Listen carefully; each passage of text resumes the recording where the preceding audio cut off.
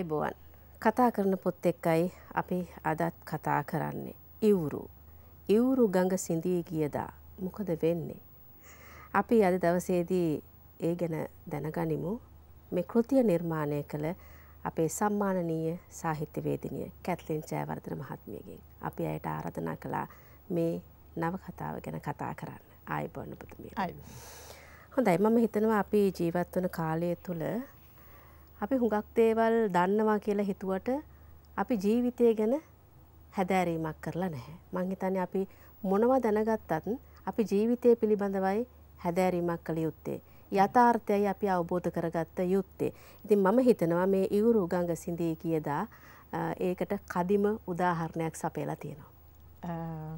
මම හිතන්නේ වසන්ති අපි අපි ජීවත්වෙන ඇයි කියලා කියන ප්‍රශ්න කවුරහරි අපෙන් ඇහුවොත් ඕකට උත්තර දෙන්න හුඟ දෙනකොට බැහැ.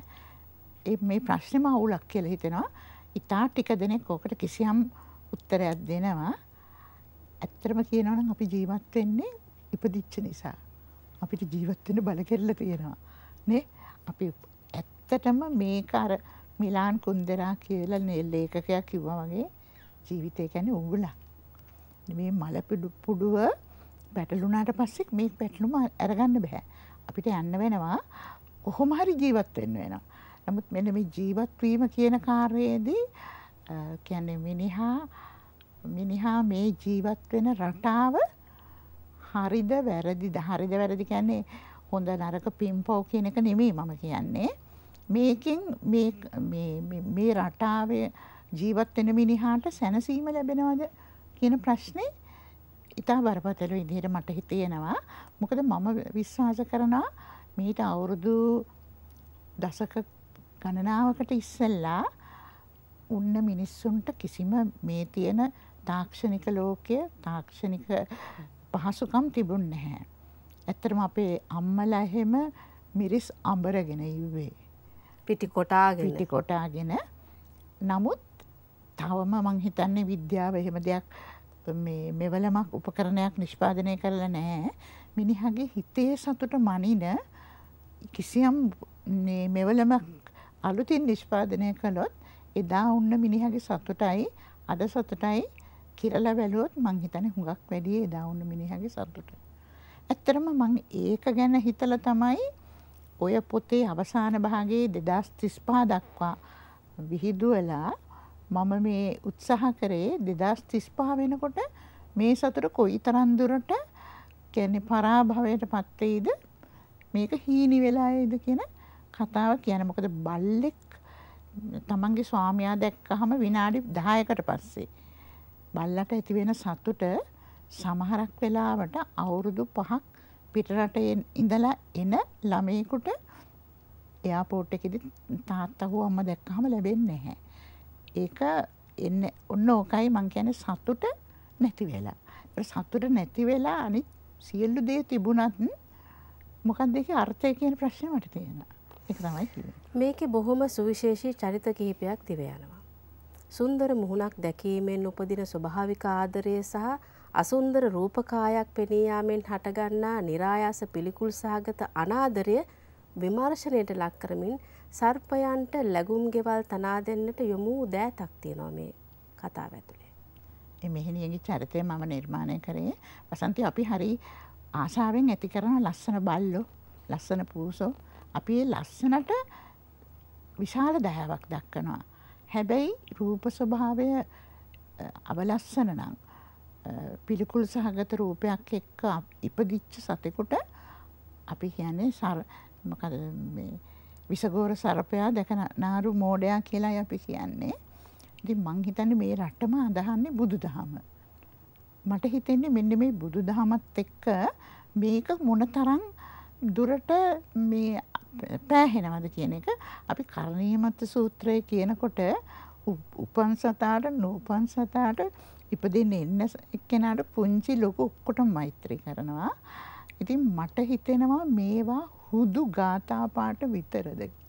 මෙහෙම හිතන දැන් අච්චරම එහෙම කරුණාවක් දක්වන්න පුළුවන්නම් අපි හිතමු ගෙදරට ආවම සර්පයකොට ගහලා මරණ එක වෙනම කතාවක්.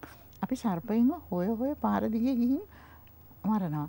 සමහරවිට අපි හිතන්න පුළුවන් අපි අපි විශ්වාස කරනවා පුනර්භවයක් තියෙනවා කියලා බුදු දහමට ගොඩක් දෙනේ සමහරුන්ට ඕක විවිධ තර්ක තියෙනවා හදිස්සියෙන් අපි මැරුණට පස්සේ අපේ ශරීරය දිග්ගහිලා ඉපදු නෝතින් අපි හැංගිල අහිංසකව ඉන්නකොට අපි වැැවිල්ලා තලලා මැරුවොත් කියන ඔය තර්කවත් මිනිස්සුන්ට නැහැ.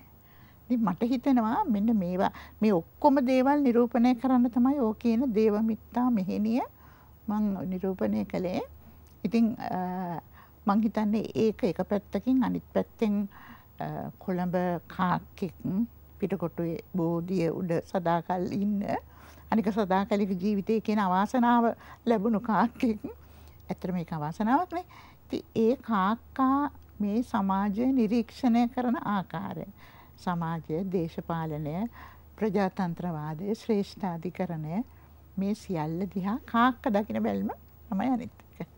මේ වගේ මේ තවත් තීව්‍ර වෙච්ච චරිත කිහිපයක් දිව යනවා මේ නව කතාව පුරා. කතා කරමු අපි. කෙටි විරාමයක් කරගෙන.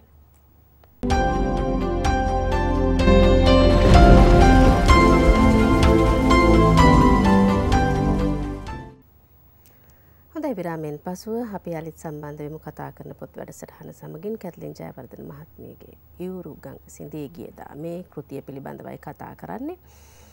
අම්මාවරුමයි බුදු වන්නේ කියලා කියමනක් තියෙන. ඉතින් එහෙම සමාජයක තමන්ගේ දූ දරුවන්ට පමණක් ලේකිරි කරපුවන මාතෘත්වය බුද්ධත්වය අතරවන මහා වෙනස විමසලා අම්මා වරුන්ට බුදුවිය හැකි වන්නේ දරුවන්ගේ ලෝකයේම පමණකයි මේ විදියට හඳුනන බුද්ධත්වය කෙසේ වෙතත් නිර්වාණය වුණත් මවකගෙන් ඈත් කර තබන ප්‍රබලම සාධකය දූ දරුවන්ම බව සාක්ෂාත් කරපු දියණියක් මේ නවකතාව ඇතුළින්.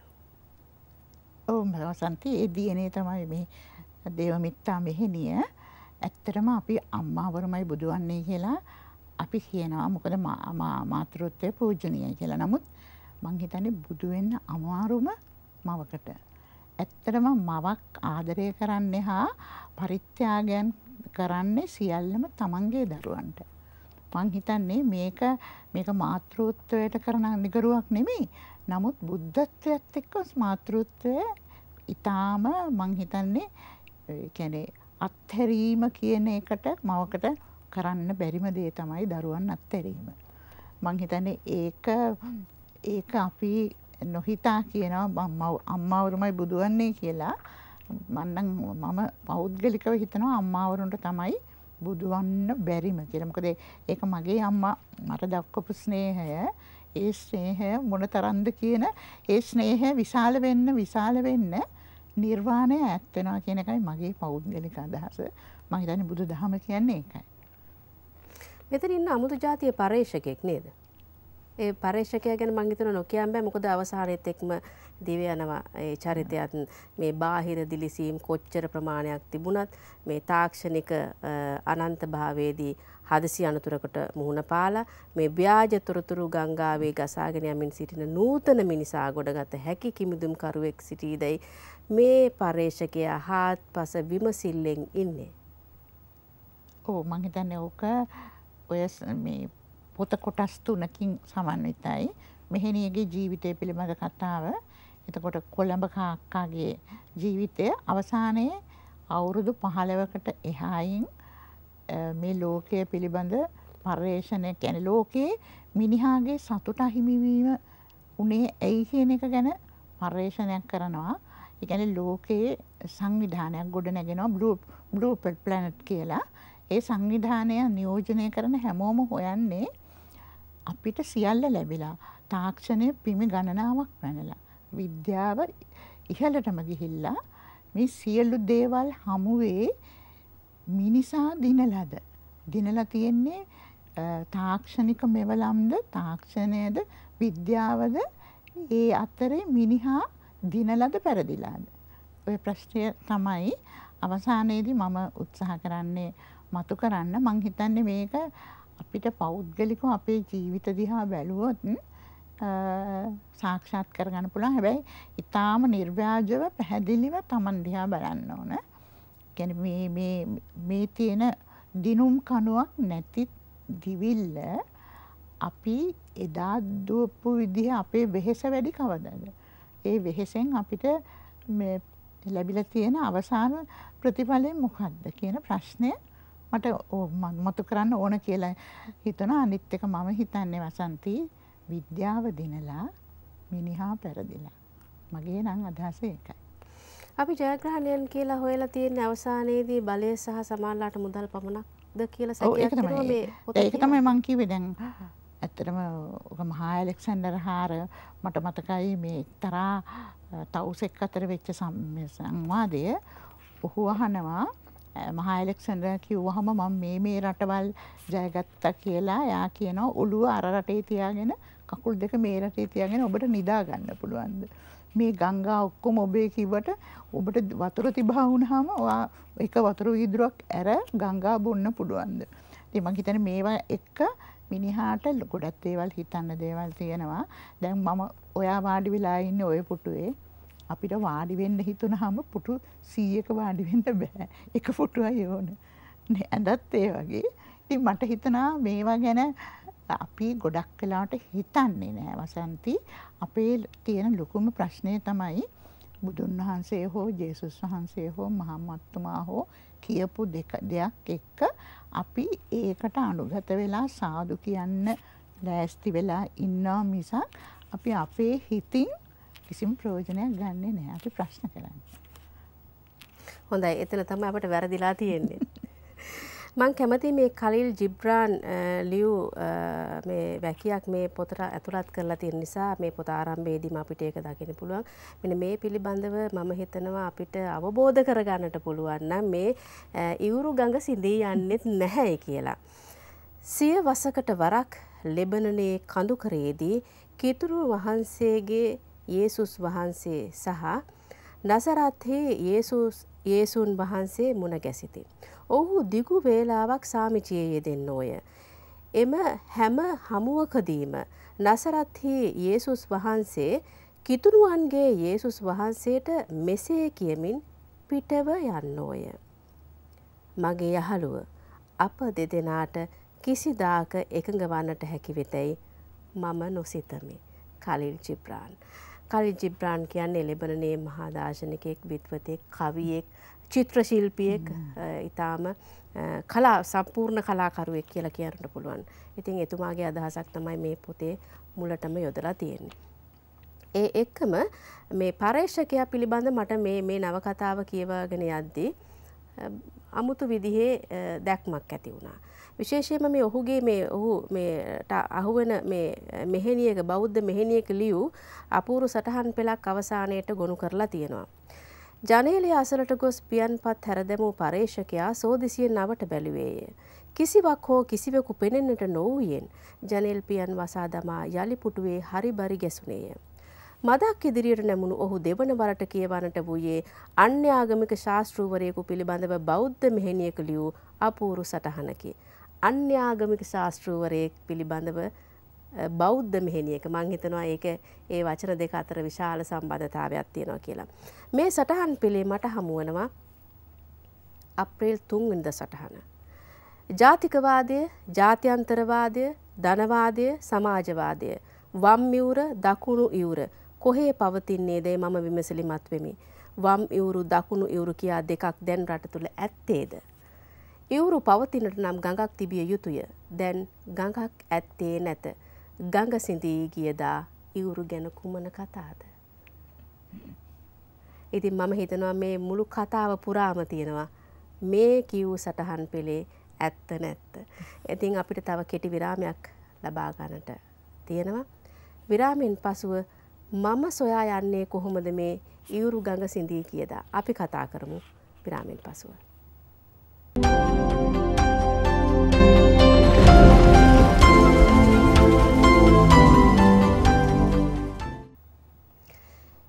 කීමු වැලවුව නල්ලට කරදර නොකිරීමේ සුවය අත්වෙඳමින් මම නිස්කලංක තැනිබිමෝසේ ඔහේ ඇවිද යමි.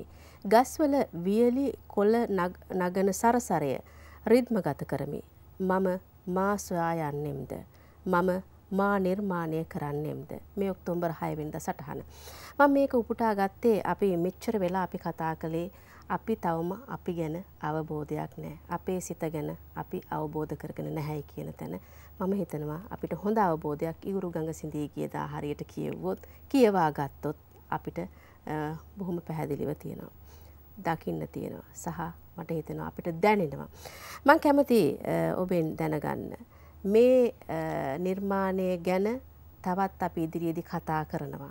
ඒ දින වකවානුත් එක්ක අපි පොඩ්ඩක් අවසාන වශයෙන් ඉවුරු ගඟ සිඳී ගියදා ඉවුරු ගඟ සිඳී කියදා. මේක කවදාවත් සිඳෙන් නැතිවෙනට නම් අපි කුමක්ද කළ යුත්තේ කෙනෙකින් අවසන් කරන්නට.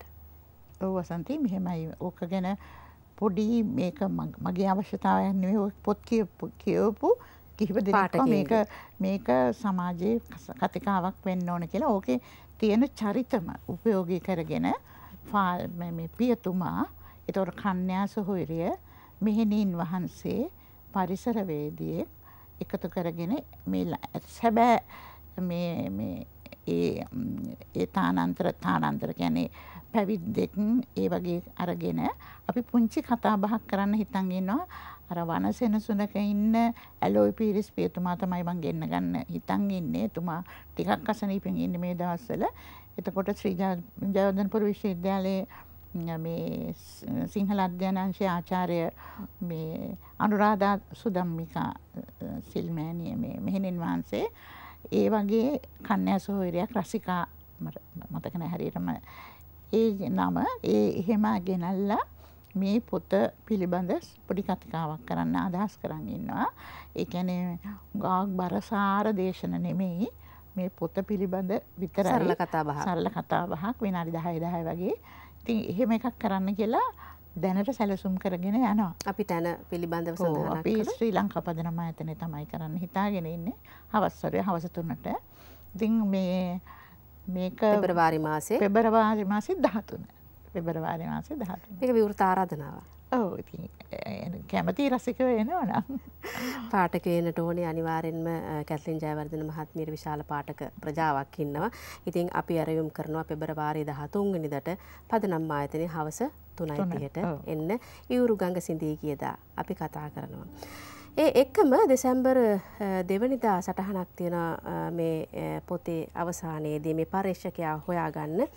ඒ සටහන බොහොම අපුරු සටහනක්. කඳු තරණය අවසන්ය. දුර්ගතරණය කී සිතු ගමන් මගේ එක්තරා සන්ධිස්ථානයකදී කන්ද මගේ දෙපතුල කරා ළඟා වී තිබේ. සතුට ප්‍රීතිය මේ කිසිවක් මට දැන් රහසක් නොවේ. හැබැයි අපි නියම සතුටයි සොයාගත යුත්තේ. ඒ සතර සොයාගන්න එක තමයි මම හිතන අභියෝගය. ඊටාම පහසු දෙයක් මේක. නමුත් මං හිතන්නේ අපි ලුඟක් පටලවගෙන ඉන්නවා. ඒකයි ප්‍රශ්නේ. දකුණසින් බුදුන් වහන්සේගේ මහා කරුණාව දකින මට වමසින් පෙනී යන්නේ ජේසුස් වහන්සේගේ විප්ලවීය දයාවයි. තමන් කරා තමුන් කරන ආදය ඔවුහු නොදනිති. ඉතින් ඒ නිසා අපි තමන් කරන දේ ගැන හරියට දැනගෙන ඉවුරු ගඟ සිඳී කියදා කියවා බලමින් තමන්ගේ ජීවිතයේ සතුට කියන්නේ කොතනද කියන එක හඳුනා ගන්නට අපි අරයුම් කරනවා. ස්තුතිවන්ත වෙනවා අද දවසේදී ඔබතුමියට කැත්ලින් ජයවර්ධන මහත්මියට මේ ඉවුරු ගඟ සිඳී කියදා මේ කෘතිය ගැන කතා කරන්නට එකතු වුණාට පෙබරවාරි 13 වෙනිදාටත් හරියටම දෙකයි තියට පදනම් ආයතනයට එන්නට කියලත් ඇරයුම් කරන ගමන්ම අපි අද දවසේ සමුගෙන යනවා කතා කරන පොත් වැඩසටහනින් සුබ දවසක්.